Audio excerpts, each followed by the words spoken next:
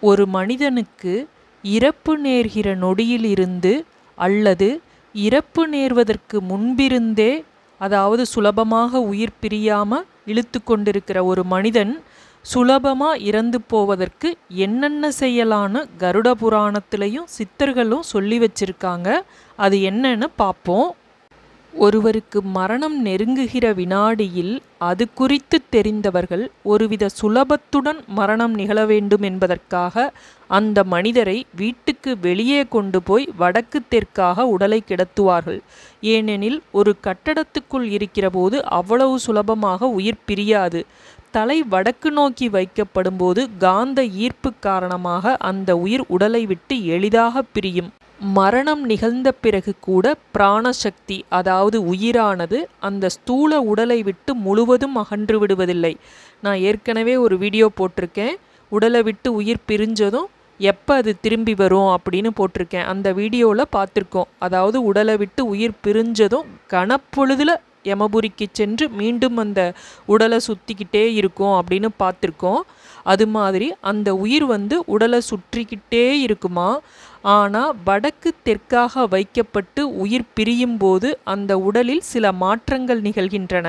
வடக்கு தெற்காக உடம்பை வைக்கிறப்ப தான் அந்த உடம்புல இருந்து உயிர் வந்து முழுவதுமாக அகன்றுவிடும் மற்ற சூழ்நிலைகளில் உயிரானது பிராணசக்தியானது தொடர்ந்து உடலுக்குள் நுழைய முயற்சிக்கும். இந்த போராட்டம் அந்த இடத்தில் ஒருவிதமான சக்தியை ஏற்படுத்தும். இது இறந்து போன மனிதருக்கும் நல்லதல்ல வாழ்கிறவர்களுக்கும் நல்லதல்ல. இன்னொரு முக்கியமான சடங்குக்கு காரணத்தை இப்போ தெரிஞ்சுக்கலாம். இறந்த மனிதரின் இரண்டு கால் கட்டை விரல்களும் ஒன்றாக கட்டப்படுகிறதே அது ஏன்னு தெரியுமா? பொதுவாக மரணம் நிகழ்கிற போது கால்கள் அகலமாக திறந்து கொள்கின்றன. அந்த நிலையில் பின்புற துவாரம் திறந்திருக்கும். எனவே பிரிந்து போன உயிரானது பிராணசக்தியானது அந்த மூலாதாரம் வழியே உள்ளே நுழைய முயலும். அது அந்த உடலுக்கும் சூழலுக்கும் நல்லதல்ல. எனவே கால் கட்டை விரல்களை கட்டுவதன் மூலம் மூலாதாரம் மூடப்படுகிறது.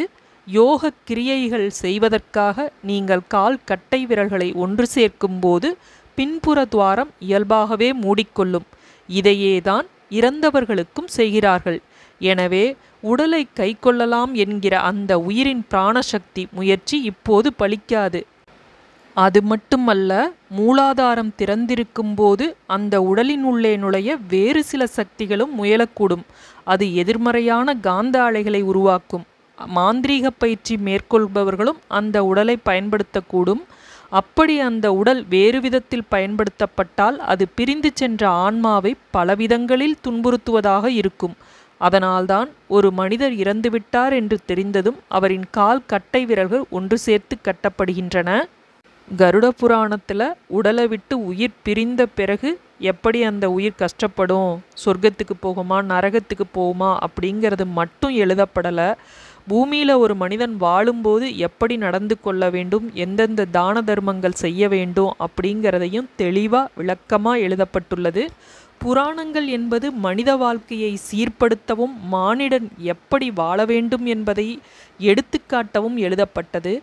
கலியுகத்தில் மானிடன் பாவத்தைக் கண்டு பயப்பட மாட்டான் துணிந்து செய்வான் புண்ணியத்தை தேடமாட்டான் இப்படிப்பட்ட தண்டனைகள் இருக்கிறது என்று பயந்து தவறு செய்ய மாட்டார்கள் என்பதற்காக எழுதப்பட்டது. அதற்காக இது பொய்யில்லை. அவரவர் செய்த பாவத்திற்கு அந்த பிறவியிலேயே கருட புராணம் படி தண்டிக்கப்படுகிறான். உதாரணமாக கருட புராணத்தில் வண்டி சக்கரங்களை மானிட ஆத்மாக்களின் மேல் ஏற்றி துன்புறுத்தும் தண்டனை உள்ளது. எத்தனை மானிட உயிர்கள் வாகனங்களுக்கு அடியில் மாட்டிக்கொண்டு துன்பப்பட்டு இறக்கிறது. கருட புராணத்தில் நெருப்பில் துன்புறுத்தும் தண்டனை உள்ளது. எத்தனை மானிட உயிர்கள் நெருப்பால் எரிந்து துடிதுடிக்க தினமும் மாண்டு கொண்டு இருக்கிறார்கள் இதைப் போலவே மானிடன் செய்யும் ஒவ்வொரு பாவத்திற்கும் அந்த பிறவியிலேயே தண்டனை அனுபவிக்கின்றான். இந்த உண்மைகளை ஞானம் பிறந்தால் எளிதாக காணலாம். என்ன பாவம் பண்ணணுனோ இப்படி கஷ்டப்படுறேன் அப்படின்னு நம்மள பல பேர் புலம்புவதை நீங்கள் பார்த்துருக்கலாம். இது மாதிரி அடுத்த பிறவியிலையும் நாம் கஷ்டப்படக்கூடாது அப்படின்னு நீங்கள் நினச்சிங்கன்னா நல்லதையே செய்யுங்க நல்லதையே நினைங்க அறவழியில் நடங்க தான தர்மங்கள் நிறைய செய்யுங்க. மனுஷனுக்கு உடம்பு சரியில்லாதப்ப எப்படி மாத்திரை மருந்து தேவைப்படுதோ அதே மாதிரி மனிதன் குழப்பமாக தெளிவில்லாமல் இருக்கிறப்ப புராணங்களை படிங்க நிறைய தெரிஞ்சுக்குங்க என்று கூறி அடுத்த காணொளியில் காண்போம். நன்றி